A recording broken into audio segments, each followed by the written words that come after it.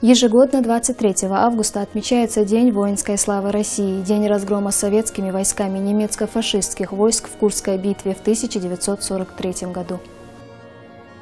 Курская битва явилась решающей в обеспечении коренного перелома в ходе Великой Отечественной войны. Гитлеровское командование планировало провести крупное наступление летом 43 года, овладеть стратегической инициативой и повернуть ход войны в свою пользу. Для этого была разработана и в апреле 43 года утверждена военная операция под кодовым названием «Цитадель».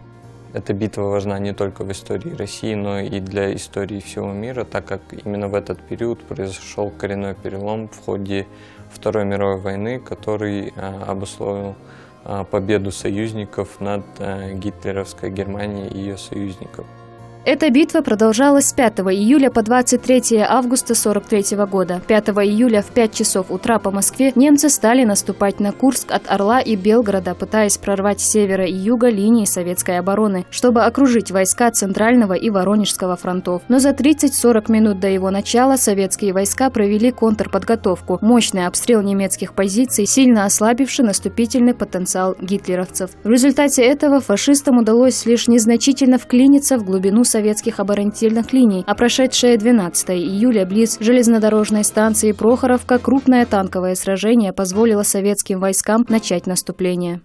У нас есть а, два а, личных дела. Это танкисты, это Барханов Александр Кавриевич и а, Мальсагов Адиль Гирей Заурбекович.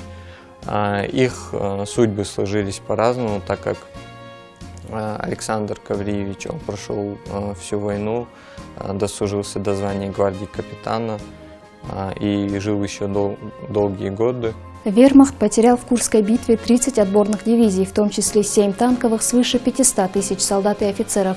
Но что интересно, потери советских войск превзошли немецкие. Они составили 863 тысячи человек.